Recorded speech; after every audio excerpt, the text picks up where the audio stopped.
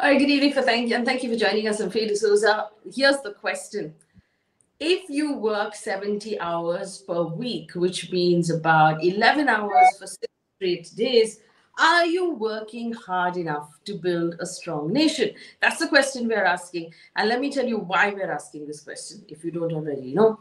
In a conversation with Mohandas Pai, his former colleague, Narayan Murthy said Indian youngsters who want to build something of value need to work or need to be prepared to work 70 hours per week. Now, this sparked a massive debate on the internet, of course, and everybody has something to say about it. And here's the interesting thing a lot of those somethings were very valid, which sparked an interest in me and my team to actually put this debate together so we can actually talk about it because there are so many aspects to the number of hours we work and the number of hours we're expected to work.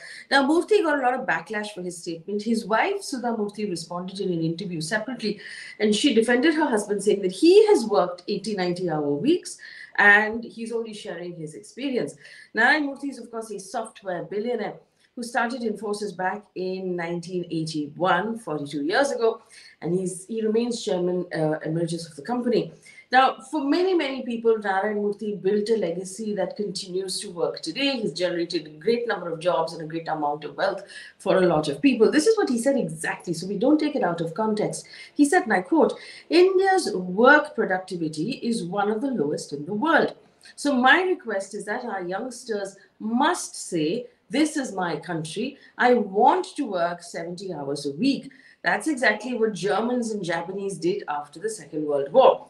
We need to work very hard. We need to be disciplined. Improve our work productivity. Unless we do that what can the poor government do?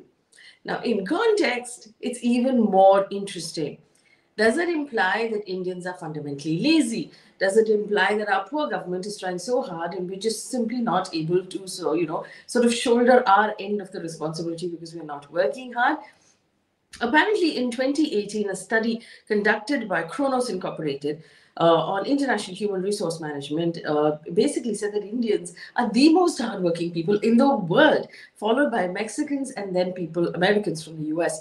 Uh, Indians, incidentally, are also the most overworked and the most underpaid people in the world because in many, many of our jobs, there is no con- uh, concept of overtime that you get paid if you work past the stipulated eight hours. Now, remember, labor laws say that you that a work day has to be eight hours with a one hour lunch break and two 10 minute breaks um, you know in, in in that day as well. So when we're talking about 11 hour days six days a week where does that fall in? There are also of course the consequences of working 70 hours continuously burnout uh, mental health physical health issues because you don't have time to look after your health.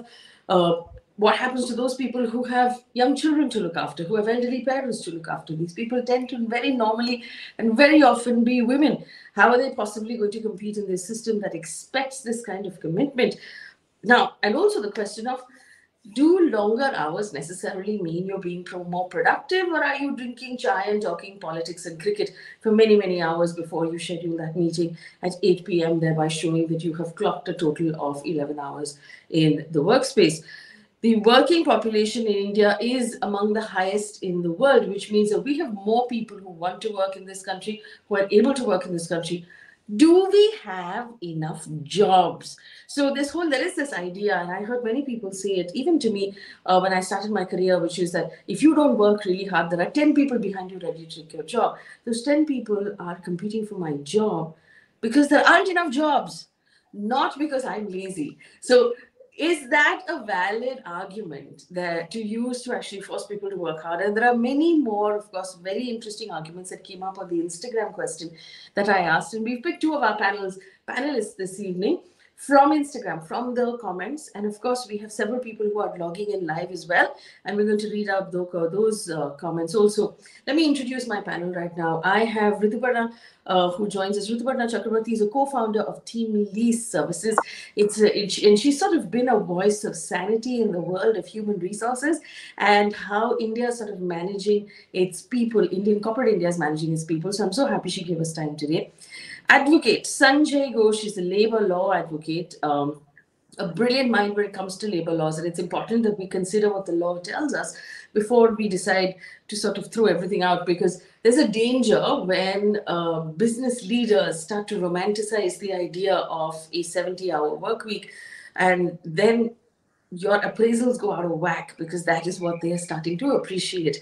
Dr. Ira Datta is a consultant psychiatrist, um, you know, and uh, she's done an MD in, um, in psychiatry. And she actually commented on the Instagram post, which is how we found her. And she's bringing in the health point of view. We'll also have Bani Nanda join us in a bit.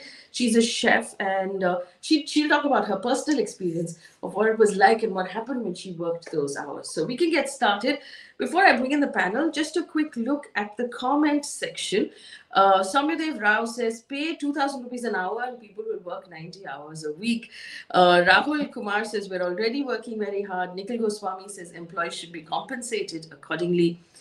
Uh, Shelby says, I like my sanity. I'm not giving it up. Give equity to employees. Positive Vibes says, this is just for his information. Many are working 70 hours with much less remuneration. Anish Korea says task-based work system is better than monitoring actual time put in. Um, and so we have these comments and more comments are coming in, but I want to start our conversation. And uh, let me start by, uh, you know, sort of bringing in Rituparna. Uh, Chakravarti, thank you for joining us. Uh, your, your first reaction on hearing this, this demand, and like I was saying earlier, I feel that the challenge when business leaders start to idealize 70 hours is that when they then assess employees, they will use 70 hours as a base. And anybody who doesn't give 70 hours will then not be good enough. Yeah. Uh, Faye, please call me Ritu. And um, uh, thanks so much. And it's so good to be back on your show after quite some time. Uh, so I think uh, this is a topic that I'm sure everybody has a lot to say, and so do I. But I think the most important problem in this whole debate is that we're mixing way too many things. And one, of course, is that there is a essentially messaging that has been done on urging youth and youngsters to work hard. And then somewhere that has been correlated to having influence over India's productivity gains and improvement. I think that's where the problem is. I'm somebody who myself have been a founder and I've worked 16, 17 hours a day. But my thing is, uh, or my submission here is that in India, uh, as the statistics of the data looks, working longer hours will not make India more productive. And I'm telling you, even if for, for a minute, let's assume that all youth take cognizance of what has been said and starts working 70 hours a week, India will not become one of the most productive nations in the country because it's more than just hard work. There are a lot of other aspects which make India unproductive and that's why what will happen is if we just keep on urging people to work more. I mean, to be honest, in my view, any, I mean, I look at people in Bangalore, everyone on an average is working 12 hours in any case. If you consider their commute time, um, and there are a lot of other hindrances which are there in our in our existence in our work life, which automatically takes 12 hours. So, are we suggesting that they should work more? Uh, a lot of people who are in the informal sector, they're working very hard. I mean, they all work 16, 17 hours, but do they really get the commensurate upside in terms of return? What is productivity? Productivity is that a net sum of input that goes into the economy results in much bigger size of output. That's not been the case within India. It's a fact that India has been one of the bottom last four, five ranked in terms of the World Productivity Index. And that's because whether it's infrastructure, whether in way our cities are uh, structured, way the enterprise size in India, they are all productivity guzzlers. So there has to be a view taken. Hang on, Ritu, forgive me. I'm going to interrupt you for a second because I want to break this down for our audience in, in like English. Basically, you're saying that our first of all, and this is this I feel so hard in my heart right now you're saying our cities are designed so badly that we wind up spending so much time in transit just getting to work that that is eating out of productivity. So I goes one step further to say this argument of what can the poor government do? Here it is. This is what poor government can do. You can make it easier for us Absolutely. to access. Look, there is, there is a lot that a government has to do. Otherwise, we're going to fail our nation. I'll give you a simple example. India is aiming to be one of the largest economies in the world, right? We are saying that we're already the top five in terms of GDP, will soon be top three. But India is 142nd in per capita income. That's your true scenario of what's the problem in productivity in India. So, which means that what's making us the top five by way of GDP is actually the hard work of people.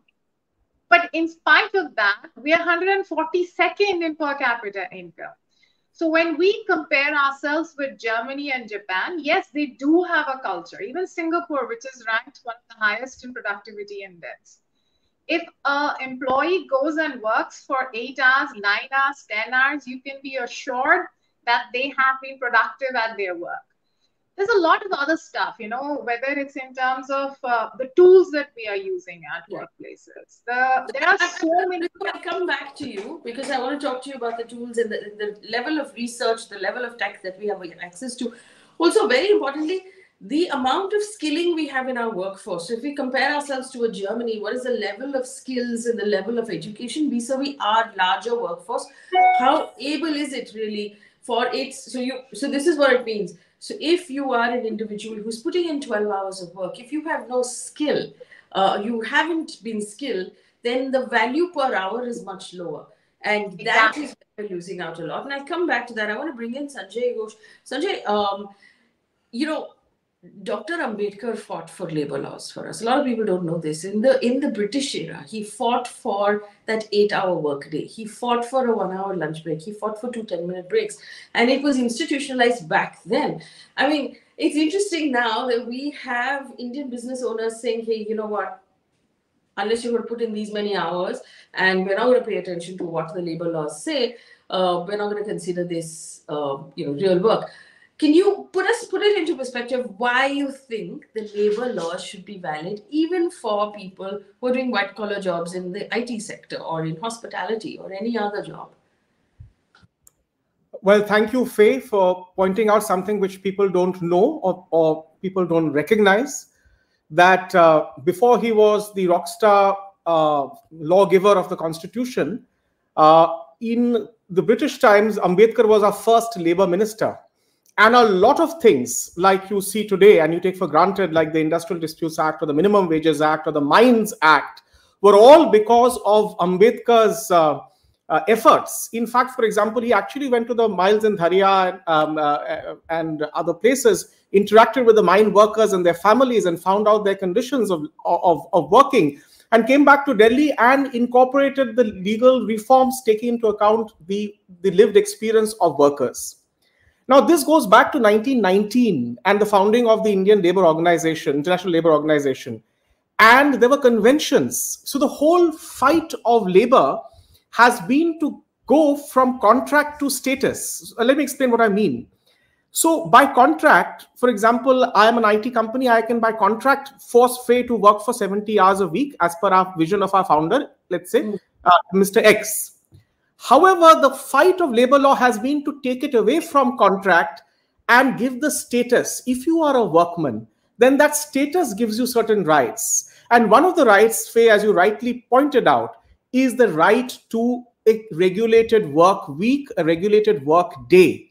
And all the legislation, be it the Factories Act or the Shops and Establishments Act, the Minimum Wages Act, the Mines Act, the Working Journalists Act, which affects journalists, now all of that incorporated into the Occupation Safety, Health and Working Conditions Code of 2020, though not implemented till now, they all provide for a work day.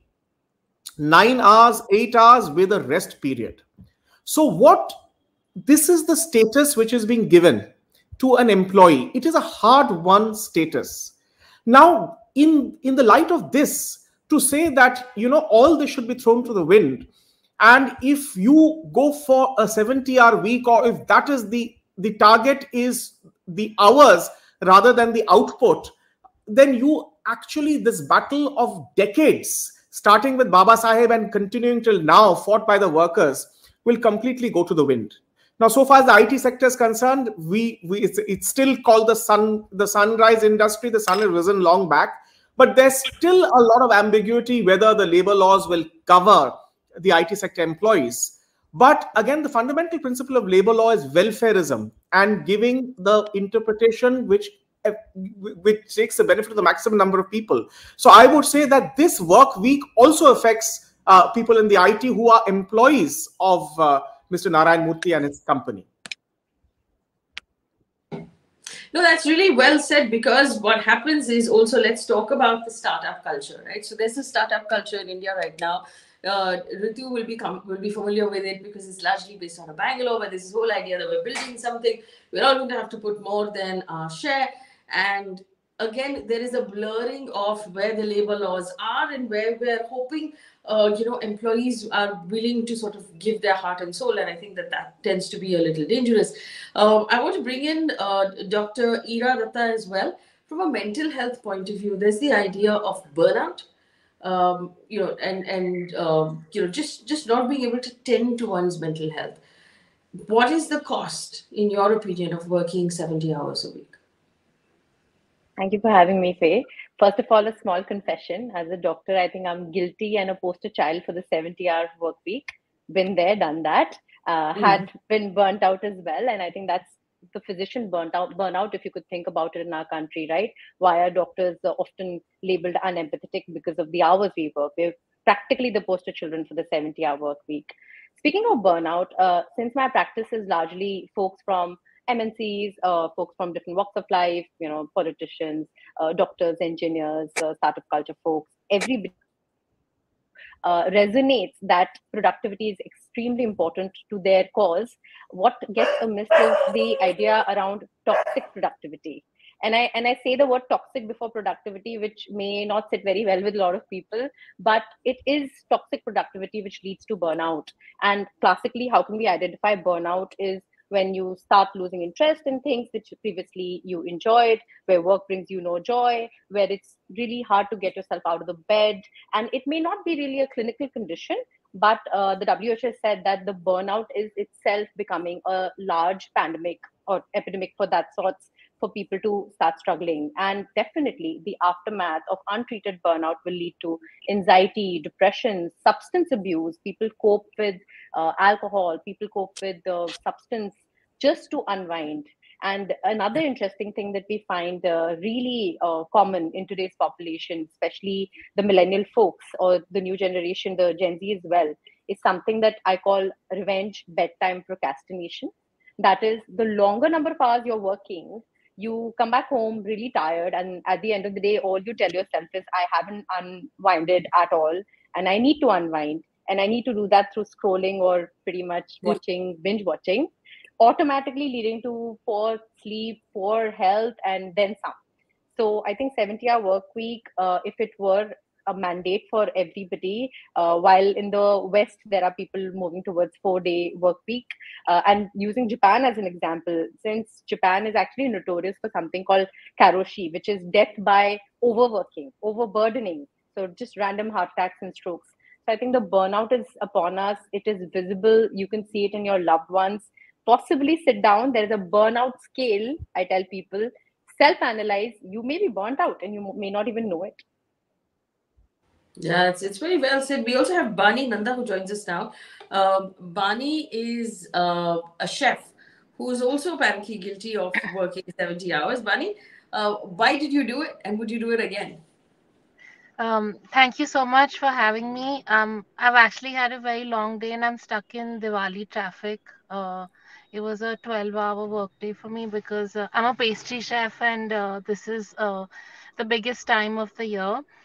Um, I've actually been on both sides, uh, and that is why I'm very happy to be. Uh, uh, uh, I'm happy to be a, a, part of the panel because I was working um, uh, in. I'm not going to take names, but I was working uh, in a very big five-star hotel in New Delhi, and I don't know if everyone is aware of how strenuous F&B is and how strenuous hospitality is, and we were. Um, and honestly if i look back i i don't think that these issues were ever addressed. You know nobody was about 10 years ago no one was really talking about mental health.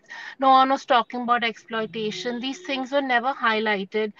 And uh, we were always we were just going with the flow. We had energy um you know i was able to stand for 14 hours in a day uh, you know if my head chefs ask me you know please ye thoda aur ek ek uh, you know एक party एक catering आई है इसको भी करके चले जाओ um we never realized actually that we were putting in those kind of hours in a week and we were sort of doing it very happily with a lot of enthusiasm um, because what i want to highlight is that there was a certain personal gain attached to that kind of hard work.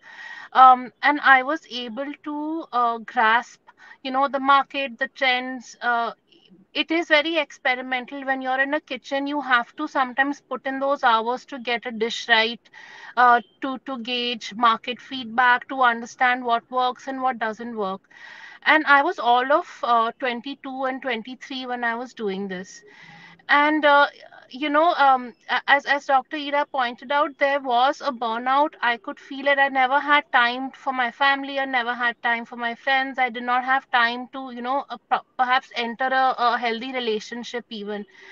And but at that time i feel like i was so driven and so motivated at work. It never it just never bothered me and i never felt that i was in this toxic environment and maybe i actually was in that toxic environment. And uh, you know coming and you know um, fast forwarding maybe now 10 years uh, later now i'm a business owner and i started my own business uh, in 2015 uh, right after working at this hotel.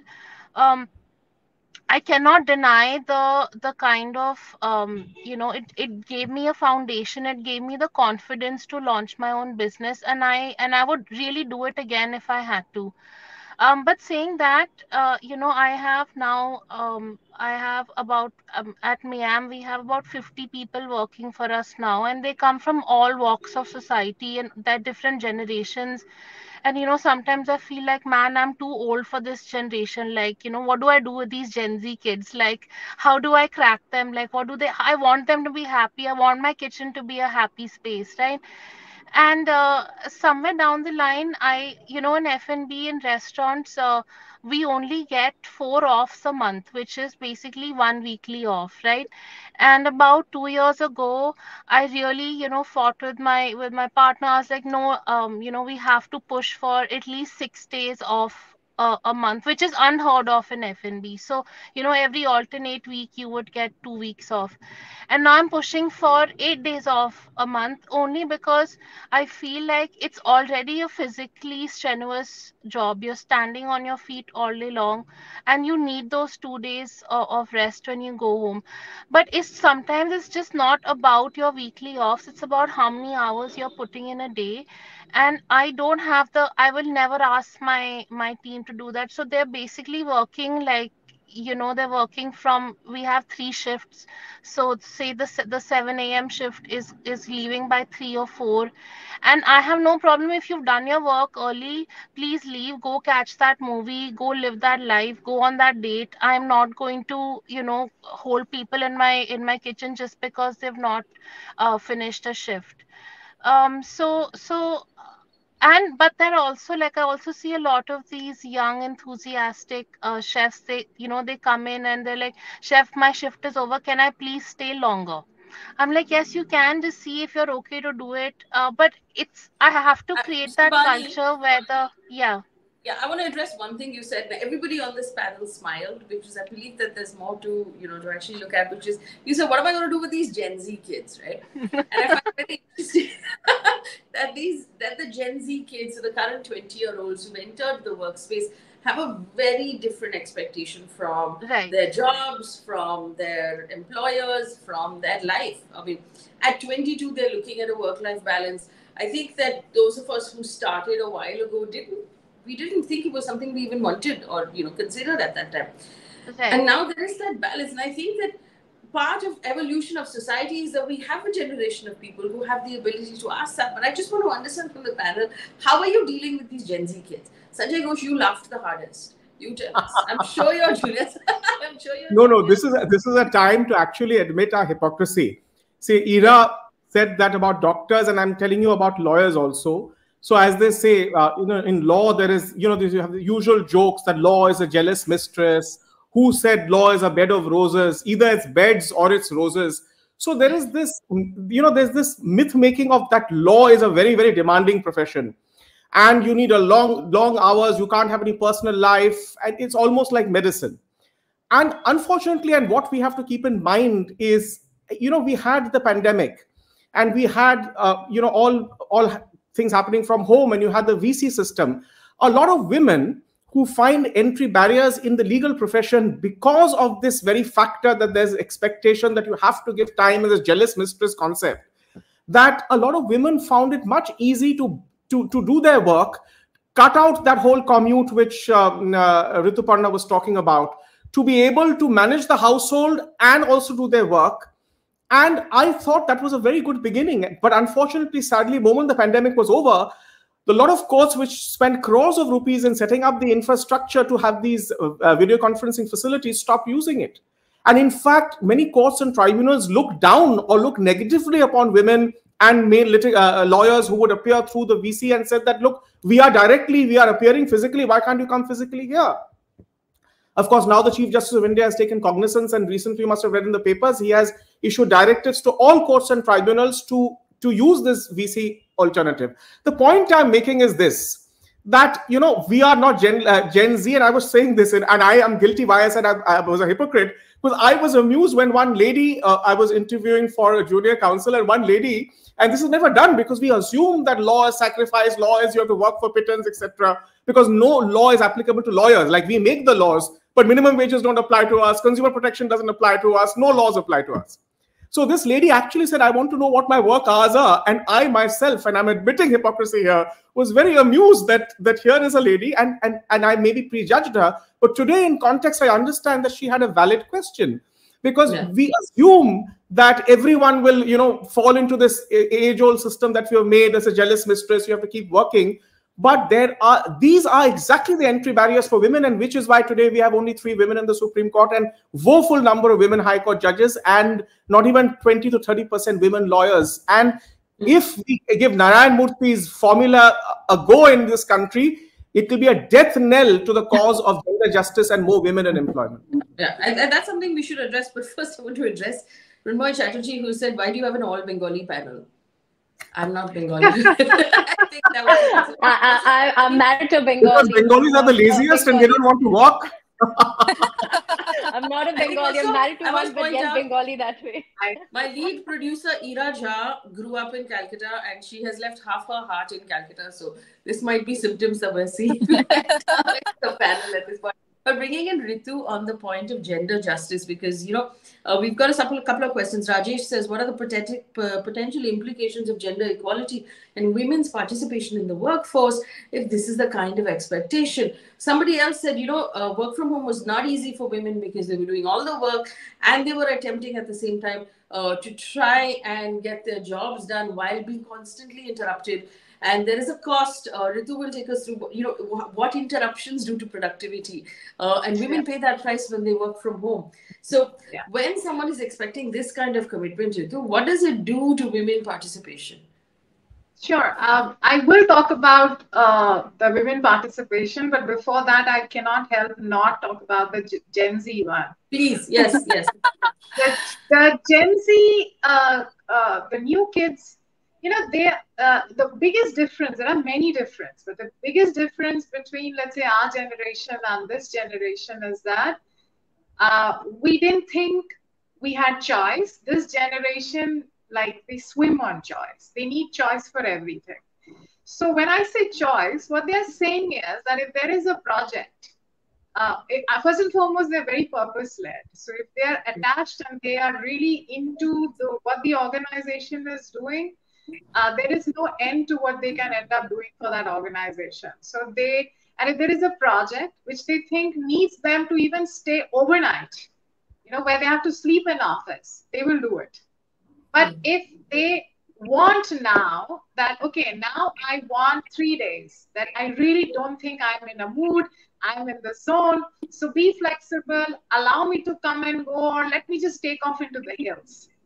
They expect to work in an environment where they would have that flexibility and choice to be able to doing that. So it's very key to know that when you're addressing the Gen Z. Also, uh, we as parents, for example, I have worked very long hours all through my life.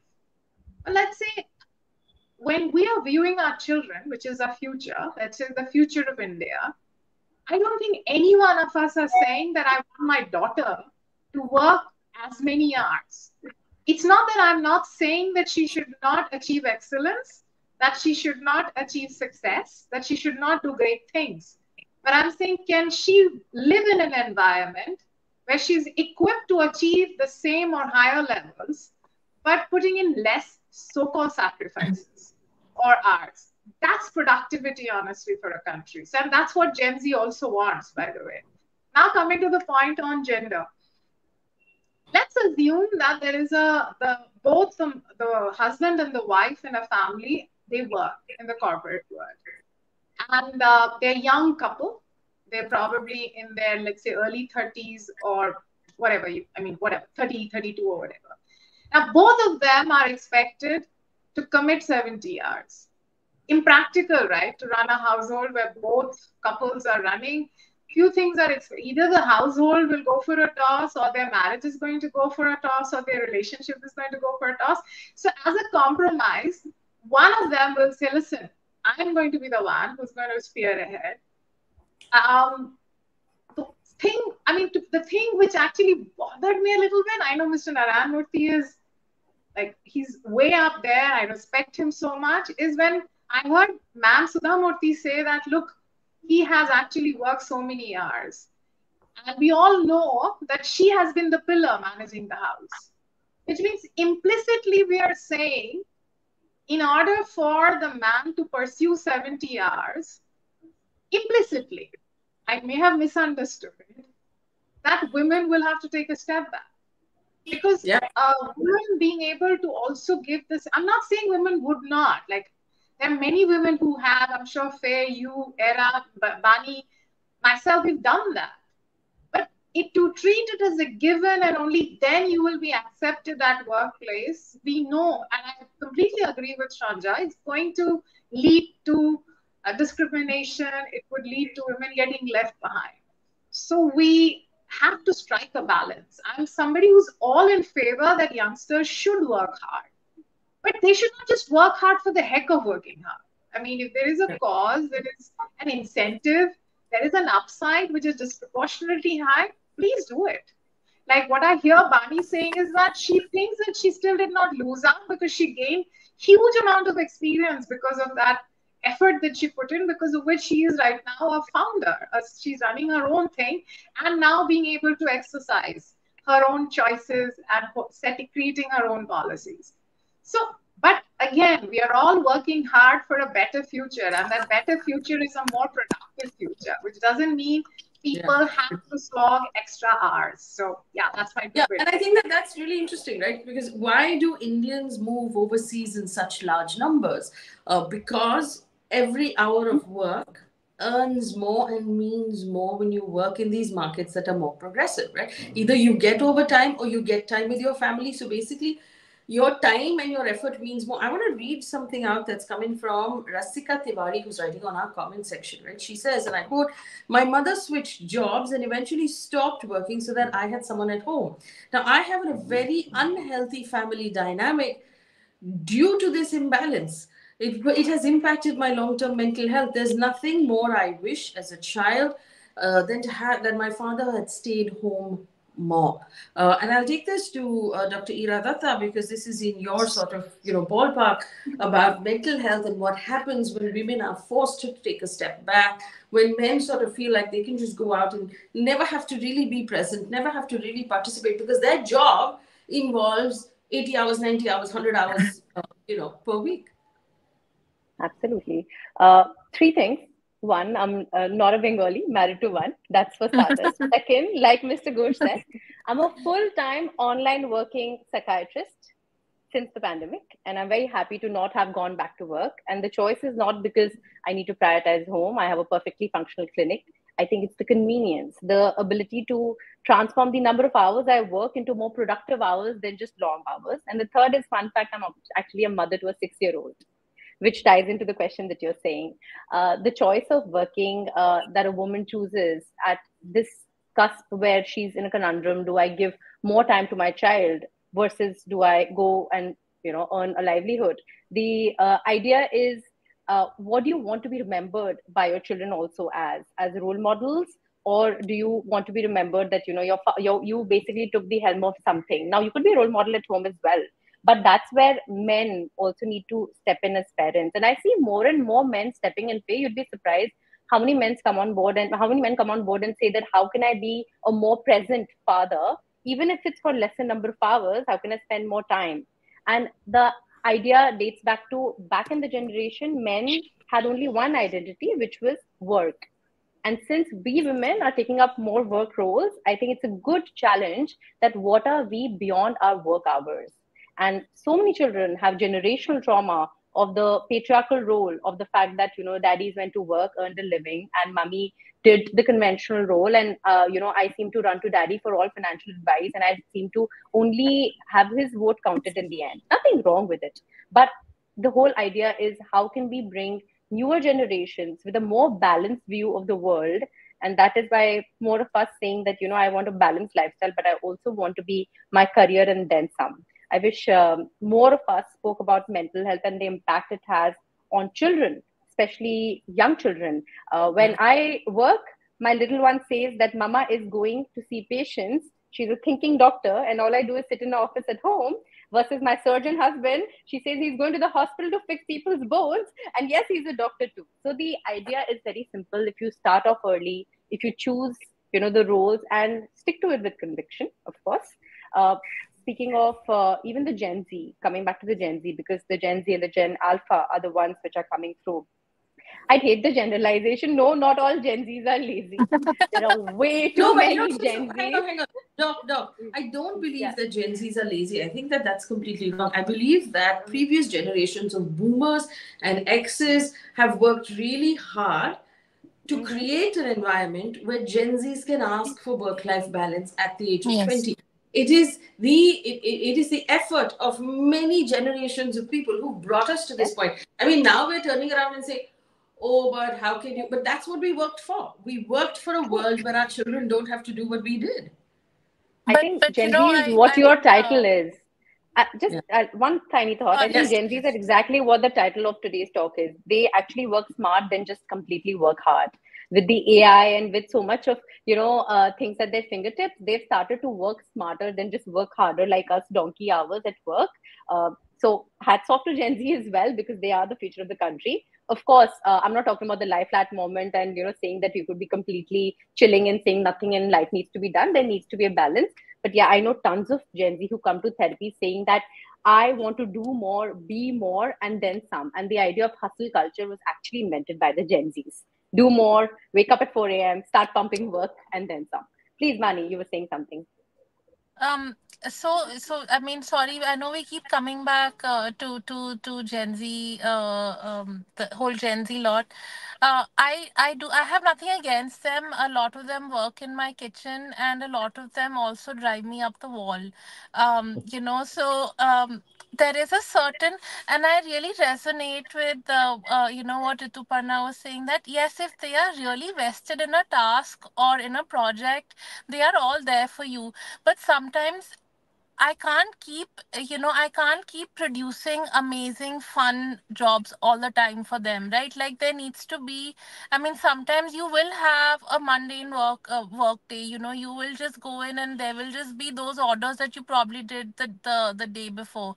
So that there is a struggle over there. I'm really trying to navigate through it.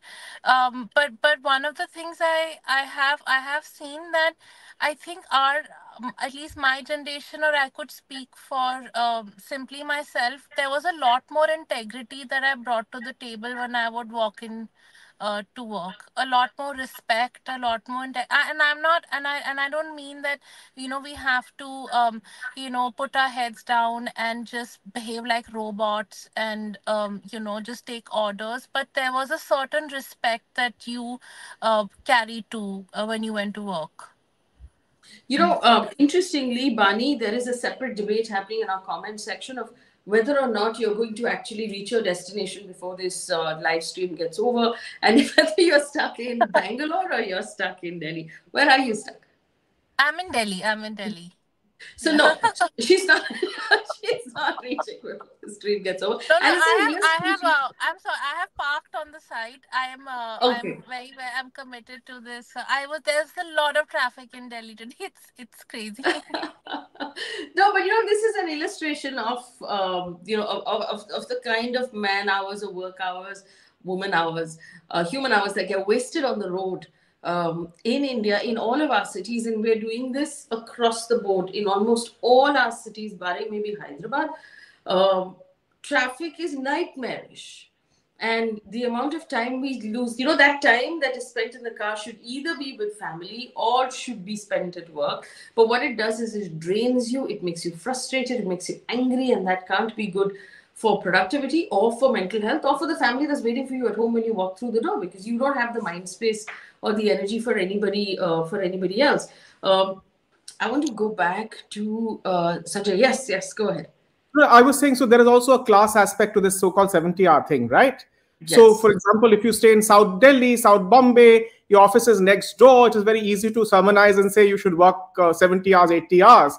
But people who are coming in from suburbs, from Pune, from far away, uh, uh, in Delhi, people are coming from Ghaziabad, Sahibabad. It is very difficult. So, uh, you know, so that there are layers and layers to this uh, to this uh, 70 thing. There's a gender aspect, there's a class aspect.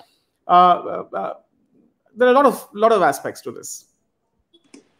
Uh, my producers are writing to me saying, I love how this all came back to Gen Zs at the end.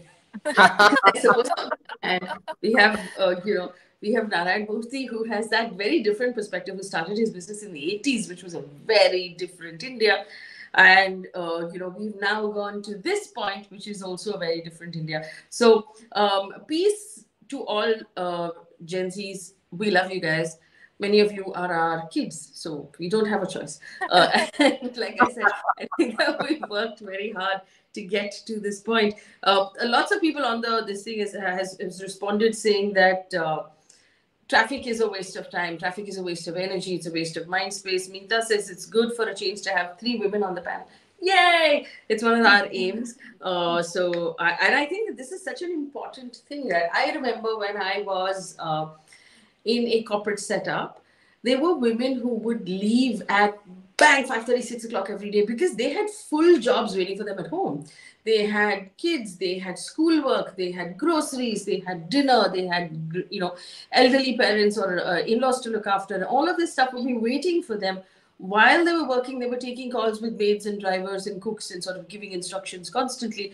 And there would be this and I remember a male colleague of mine, Ritu, incidentally, who was heading HR, who said, Oh, look at this person, not at all committed, leaves at six o'clock every day. And I was like, But what are you doing? You're standing around talking about politics. How is this a commitment? And you know, how are you using this yardstick to judge her? The fact that she's here and she's leaving at six means she's regimented her day, which in my mind is a very positive thing. But do you believe that? Uh, you know, we talked about women's participation. Do you believe that this creates a negative aspect and let me round it off to anyone who perhaps wants to run a marathon who's going to go back and train or anyone who is going to you know learn french or learn something uh, you know have have a different life after their jobs is going to be seen as non-committed because you're only committed if you're willing to give everything. Faye, I think um, I honestly must submit that while a lot of talk is happening about the 70 hour things, and I know that a lot of founders believe uh, and they are entitled to that it's a it's a done thing you do have to work hard. But in reality corporate india does have come a long way on this aspect. I feel that there are already changes visible where corporate india is no more uh, assessing appraising reviewing people just in terms of the number of work hours that uh, they're committing themselves to. So and hence one it's it's it would be inappropriate for me to actually say that everyone in corporate india is actually you know celebrating or is actually judging resources based on how many hours that they're committing to. And the points that you mentioned they're all valid. I mean um, the flexibility and i'm i'm there's no bias on any gender. I mean i have seen myself, I have in my team had male uh, uh, colleagues, I have female colleagues. I mean, female colleagues do act very differently in terms of when they leave as against a male colleague who's ready to stay out longer in office. But that doesn't necessarily mean that a discerning leader who's actually judging people based on final output and outcome actually judge them on actual outcome and not the hours. So right. on ground, I think India has already started moving in that direction, and it's no more honestly uh, that dramatic. Where you know, and I think during COVID, a lot of um, um, a lot of myths were busted. Especially, mm. I mean, during COVID, people realized that. Uh, I mean, I'm honestly a big believer of work from office. So don't get me wrong, but I also understand and empathize why it is becoming difficult for people in India to work from office and that there is so much of tension whenever somebody mandates that you have to come from office. Like, you know, in Bangalore, let me give you an example. We call the horrid Wednesdays, right? Um, usually Mondays and Tuesdays, because of the hybrid option, people work from home. And on Wednesday, they are back on a, with a bang, they're going to office. Entire Bangalore comes to a standstill, which means if they had, if they were supposed to take 30 minutes, now just to do that, they take one and a half hours to reach their mm. office. Now these are realities. So I, while I'm a big believer, you need to meet people because that's how you build your social capital. But then this is where productivity gets choked. This is where you're making your your employees and your staff less productive day by day. So I think there are honestly multiple layers to this discussion, which is not so much, no, it's not simple. It's not just about working hard anymore at all. So, Ritu, I want, you, I want you, yeah, I, I, I, want you to address the idea of training and skilling and the amount of value, uh, you know, when because Narayan Murthy, this is a larger sort of country-led thing, and I'll I'll go back to Sanjay about this as well. Narayan Murthy talked about if we want, we, we need to be doing more for our country, we need to be working more, and we have low productivity. What can the government do? But it's really our large workforce is not skilled to compete with the rest of the world, is it? Yeah, 4% of our workforce today has had access to any kind of formal education or training. That's the reality of India. So if that number doesn't change, sometimes we get, especially in discussions like this, and in also the discussion which triggered this, uh, we only think about the formal workforce of India, right? But the India's workforce is the sum total of everyone. Right. So only 4% of India has had access to any kind of formal training or vocational training. Uh, our electricians, they are electrician because it's genetically transferred skill, not because they are. So nobody will pay them more than 50 rupees in any case. So even if that poor guy wants, because they don't have access to it. So that's something, I mean, skill is a big productivity guzzler in India, and we have to table it. And that responsibility is every stakeholders, and for sure, public policy makers have to take cognizance. India made a great progress few years back by creating a Ministry of Skills, but I must admit that the performance thereon has been extremely um, tepid and not hmm. probably to the levels that or what we expected from a Ministry of Skills to do yeah the whole skills india project and what what what it's actually amounted to. Sanjay ghosh i want to you know at this point i mean we also in the comfort of these conversations tend to focus on ourselves but i want to talk about our delivery uh, sort of gig workers mm-hmm. right? Zomato swiggy blinkit all of this uh, you know that gig working your uber your olas all of these sort of uh, jobs where there is an expectation that you complete a certain amount of this by a certain amount of that in order to be able to make any money while you pay off your uh, fuel and your loans. And there is, we know for a fact, without a shadow of doubt, that these gig jobs right now are simply murder when it comes to the labor laws. And there's this expectation that, hey, life's tough. What is your response to that? Help us understand where we're going as a country if these are the kind of jobs we're creating. Absolutely. And you won't believe it, Faye. While uh, Rituparna was talking, I was actually thinking of the gig workers and you put uh, your words to it. And uh, uh, well, you know, we earlier had the formal economy and the informal economy, and Rituparna was right. The formal economy is just four five percent, and all these several laws of legislation and regulation actually were for the formal economy. Now, what we have, interestingly, is we have a hybrid coming and ev evolving in the form of a gig economy.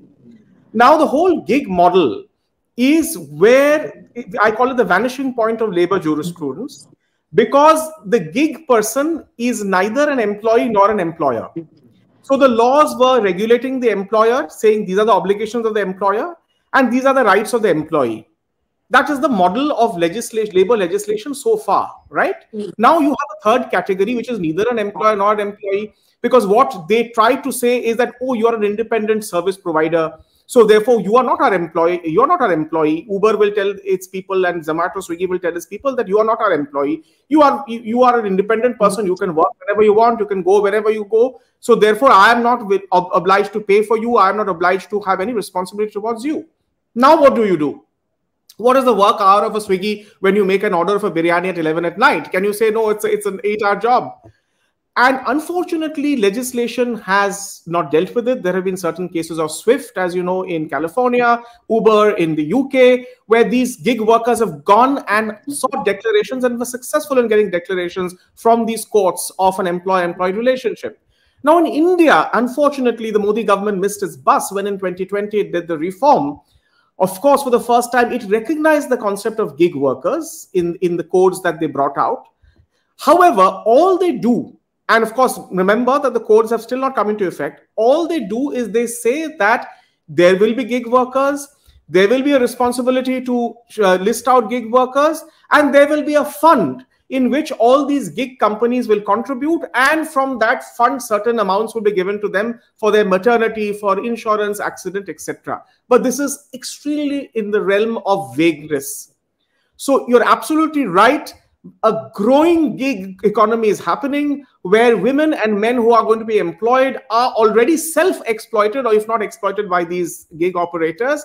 And all this you know this comfortable talk we are having don't affect them don't address them and don't protect them absolutely anish says uh, uh, anish korea says construction workers healthcare service providers hospitality workers bani nanda is here as a hospitality worker as well uh, the sort of commitment that's expected from them. It, generally, service sector uh, tends to be very, very hard in India. They work holidays, they work during festivals, they work on Sundays, and there's a toll that that takes on you as well because you're not.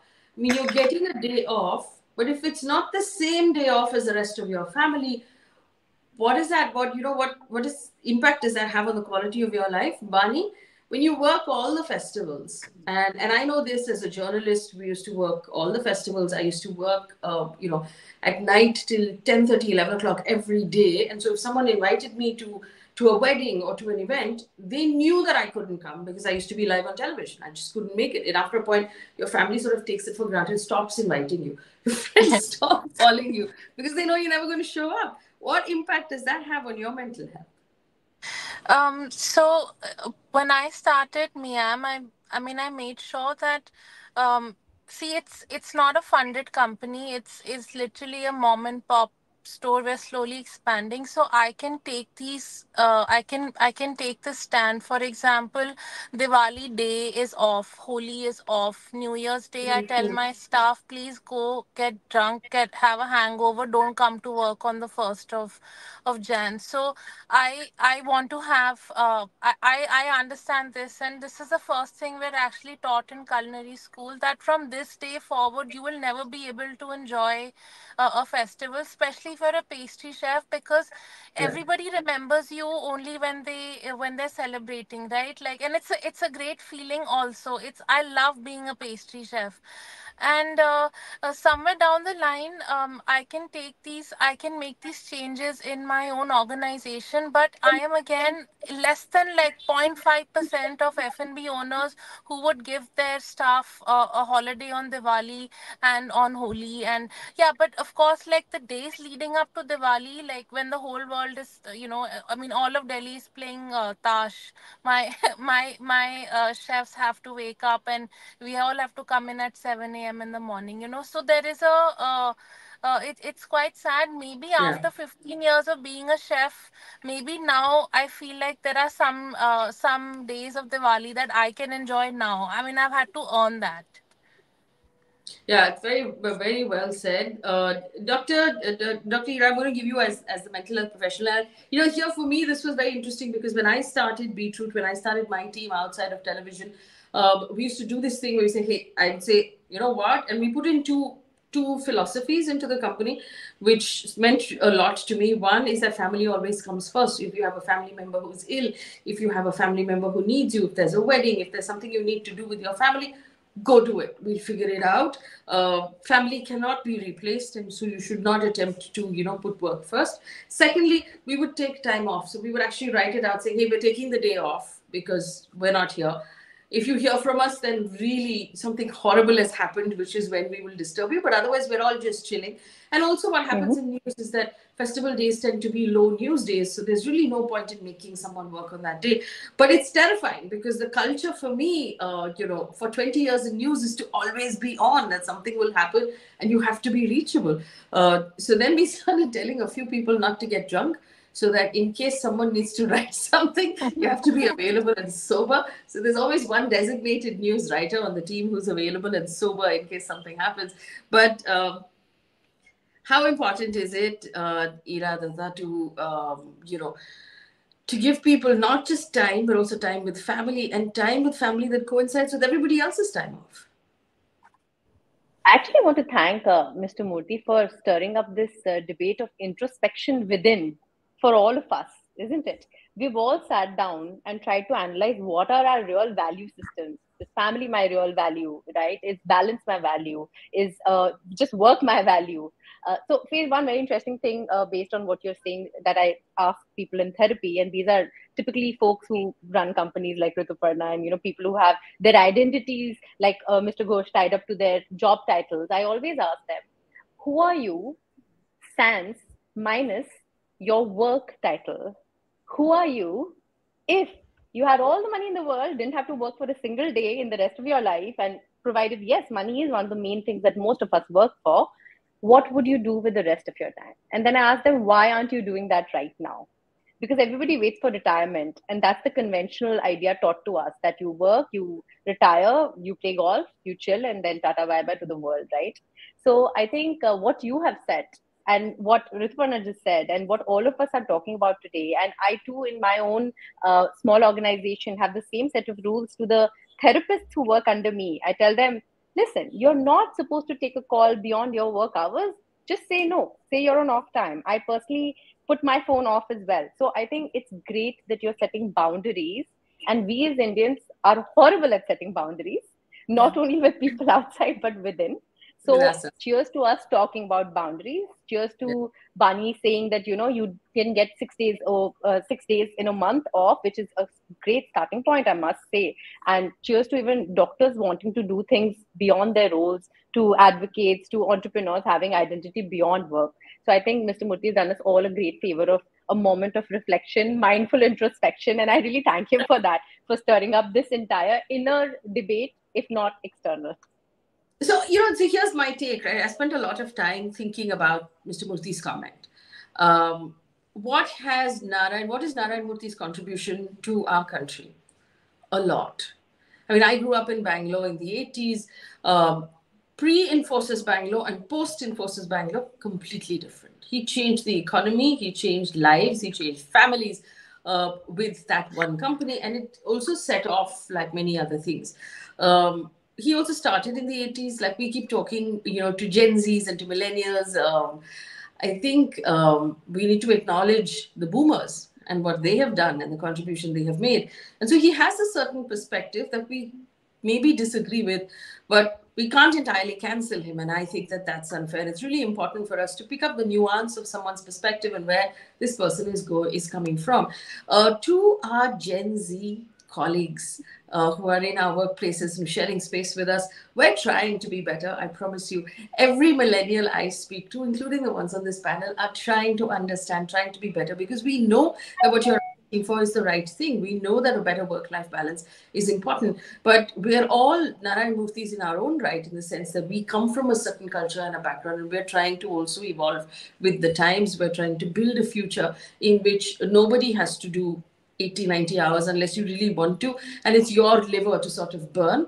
But no you shouldn't it shouldn't be expected from you. At the end of the day uh, you know they, they call it workaholics for a reason. You're actually burning your own blood and liver of choice. Uh, and that should be a matter of choice. I think everybody on the panel agrees that it should be a matter of choice. If you choose and that's that's how you want to live your life and that's okay but it should not be the benchmark it should not be the median uh, sort of bell curve at which we sort of measure everybody else if you if you do what is expected of you which is this is your KRA and this is your salary. You should be able to take home your salary and be treated with respect if you have performed your job. Nobody should expect you to sort of outshine everybody else. And I want to put down here that there is a terrible need for creation of more jobs in this country because we keep talking about this large workforce that we have, but we're not creating jobs for this workforce. And so we're just expecting them, it's a hunger games. You want them to just fight each other to the death and you know sort of like give up life and love and everything else and make themselves available all the time and that's the only way to do it no the only way to do it is to create more jobs so that everybody's hours are respected and everybody can create more value um, aman Peshawari, thank you so much uh, for giving us the thousand rupees the money will go towards paying salaries and being more productive. Aman says, can we not increase productivity by educating the population with more skills? Exactly. That is what uh, Ritu was saying as well better skilling will actually mean everybody's one hour pays better. And so we will increase productivity instead of like squishing everybody under the wheel. Uh, you know, which is which is what we're doing right now. I want to thank my panel for joining us. Uh, it has been amazing, and I really enjoyed how respectful and intellectual uh, and wonderful this conversation has been. Thank you so much for making time. I do hope we can do more of this because these are actually areas in which a lot of India's reality is not in the politics, but in this, in you know, in labor, in laws, and things like that. Uh, Ritu, it is a pleasure to see you after so long. Sanjay, you as well. Uh, good to be speaking to uh, Dr. Ratha and Bani Nanda. Bani, I wish you a really good festive season. Good luck. Thank you. kill it. Uh, Thank and you. I also hope you get enough sleep and some time to watch a movie or two. Uh, have a really have a really good festive season.